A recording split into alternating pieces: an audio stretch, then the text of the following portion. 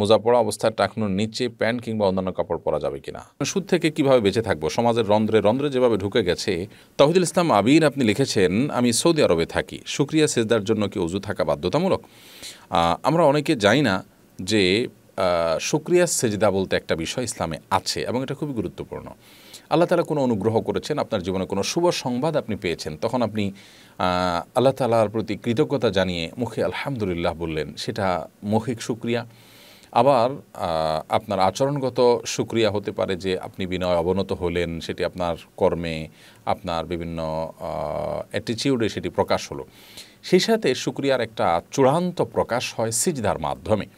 এই জন্য আমরা যদি এরকম কোনো শুভ সংবাদ শুনি, যেটা আমাদেরকে অনেক বেশি আপ্লুত করে অনেক বেশি আল্লাহর কাছে কৃতজ্ঞ করে দেয়। তখন কৃতজ্ঞ হয়ে আমরা মাথা নত করে সেজদায় লুটিয়ে পড়ে আল্লাহর কৃতজ্ঞতা প্রকাশ করতে পারি। এটি সুন্না এরকম করে আমাদের সংবাদ শুনলে সেজদায় লুটিয়ে পড়ে, এটা সুন্না বিভিন্ন নবী রাসুলগণের এই সুন্না হয় এটি, আমাদের নবী সাল্লাহ সাল্লামের তো বটেই। তো এই সুন্না পালন করা ভালো। এখন প্রশ্ন হলো যে এই সুন্না পালন করার জন্য অজু প্রয়োজন আছে কিনা? সৌদি আরবের বিনবাজ রহমাল্লা সহ সমকান আমাদের অনেকেই তাদের মত হলো যে এটিতে উজুর প্রয়োজন নেই। তবে ফোকাহে আহনাফ বা হানাফি মাঝহাবের দৃষ্টিকোণ হলো যে উজু আবশ্যক হবে। কারণ অন্যান্য ইবাদতের মতো এটিও একটি ইবাদত এবং এটি নামাজের একটি পার্ট অতএব এখানে অজু থাকা জরুরি এবং অজু ছাড়া সুক্রিয়া, সেজদা বিশুদ্ধ হবে না।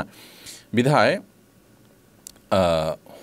যথাসম্ভব অজু করেই সেজদায় শুকুর দেওয়া, সেটাই হবে অধিকতর নিরাপদ। আশিক মণ্ডল লিখেছেন, ইন্ডিয়া থেকে ফ্লোরে যদি কোনো নাপাক লেগে থাকে, তার উপর যায় নামাজ পেতে নামাজ পড়লে নামাজ হবে কিনা? স্পষ্ট নামাজ নাপাক যদি লেগে থাকে, সেই জায়গায় নামাজ না পড়ে অবশ্যই আপনার উচিত অন্য কোনো জায়গায় আশেপাশে নামাজ পড়া। রিফাত হোসেন লিখেছেন, মোজা পড়া অবস্থায় টাকনুর নিচে প্যান্ট কিংবা অন্যান্য কাপড় পরা যাবে কিনা? যাবে না। মোজা পরলে বা মোজা না পরলে কোনো পার্থক্য নেই। বরং সর্বাবস্থায় টাকনুর নিচে প্যান্ট, লুঙ্গি, পাঞ্জাবি, পাজামা এবং লো- আপনার চাদর ইত্যাদি পরা যাবে না। কারণ যে পোশাকগুলো উপর থেকে নিচে ঝুলে থাকে, সেই পোশাকগুলো আপনার টাকনুর নিচে পরা জায়েজ নাই। অতএব খালি পা হলে পরা যাবে, মোজা হলে, সরি, খালি পা হলে পরা যাবে না, মোজা হলে পরা যাবে, এরকম কোনো কথা নেই। বরং সর্বাবস্থা নিষিদ্ধ এটি। এমন নাজুল বলেছেন, মোবাইল দেখে কোরআন মজিদ পড়লে খতম দিলে গুণ হবে কিনা? মোবাইলে দেখে আপনি কোরআন পড়ে পড়ে খতম দিয়েছেন, কোনো অসুবিধা নেই। ছাপা কোরআনে খতম দিলে শুধু খতম হবে এরকম না, এখানেও খতম দিলে সব হবে। রবিল হোসেন আপনি লিখেছেন, সম্প্রতি ট্রেনে আগুন লাগায় চারজন মানুষ দগ্ধ হয়েছেন, ট্রেনের প্রত্যেক বগিতে সুপারভাইজার এবং গার্ড থাকার কথা। তারা যদি দায়িত্ব পালনের জন্য বগিতে উপস্থিত না থাকেন, তাহলে দুর্ঘটনার জন্য তাদের কী ধরনের শাস্তি হওয়া উচিত? দেখুন, ইসলামী বিচার ব্যবস্থা থাকলে তো এই হত্যার জন্য অনেকেই দায়ী থাকবেন এবং তাদের প্রত্যেকের জেলে যাওয়ার কথা এবং মৃত ব্যক্তিদের যে রক্ত মূল্য বা রক্তপণ, সেটা তাদের আত্মীয় স্বজনের কাছে দিতে বাধ্য থাকার কথা এবং সংশ্লিষ্ট সব মানুষের দায়ভার নেওয়ার কথা। বিশেষ করে যদি অপরাধী ধরা না পড়ে, তাহলে অবহেলা যারা করেছেন, তাদের উপর দায়টা এক্ষেত্রে চলে আসে। আর যদি অপরাধী ধরা পড়ে, তাহলে সেক্ষেত্রে অপরাধীর উপর রক্তপণ আসবে। আর বাকি যারা দায়িত্ব পালনে অবহেলা করেছেন, তাদের অবশ্যই আপনার সংশ্লিষ্ট বিচারকগণ তাদের অপরাধের মাত্রা বিবেচনা করে যথাযথভাবে শাস্তির নির্দেশনা দিবেন এবং শাস্তি হওয়া উচিত তাদের। বাংলাদেশে বিচারহীনতার কালচার এ ধরনের ঘটনাকে একের পর এক ঘটতে সহযোগিতা করছে, সহায়তা করছে। আমরা জানি যে এ ধরনের ঘটনাগুলো বাংলাদেশে কোনোভাবে থামছে না। একের পর এক এ ধরনের একের পর এক দুর্ঘটনা অগ্নিকাণ্ড আমরা দেখতে পাচ্ছি। এগুলোর পেছনে নিশ্চয়ই কারও না কারও দায় আছে, কারও না কারও ত্রুটি আছে। সেখানে মানুষ জানমাল ক্ষয়ক্ষতি হচ্ছে মানুষের।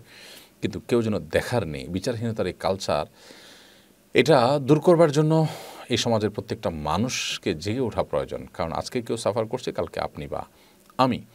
অভাবী মানুষজন মারা যায়, একজন মারা গেলে তার জন্য কতগুলো মানুষ সাফার করে, কেউ যেন দেখার নেই আমাদের।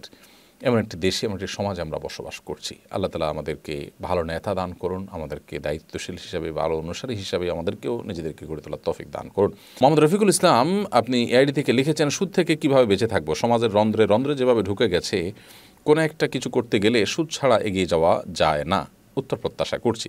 দেখুন, আপনি সুদ ছাড়া এই যুগে বেঁচে থাকা এটা অনেকটাই অসম্ভবের মতো কঠিন হয়ে গেছে।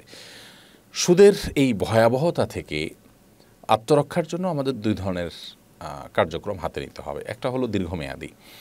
যে বিশ্ব ব্যবস্থা সুদের উপর দাঁড়িয়ে আছে, সেটির বিরুদ্ধে ইসলামী অর্থনীতির গুরুত্ব মানুষকে বোঝানো ইসলামী অর্থনীতি সমাজে প্রতিষ্ঠিত করার জন্য দীর্ঘমেয়াদী পরিকল্পনা করা, আপনি যেই হন না কেন, আপনার জায়গা থেকে আপনি যা করা সেটা আপনি করবেন।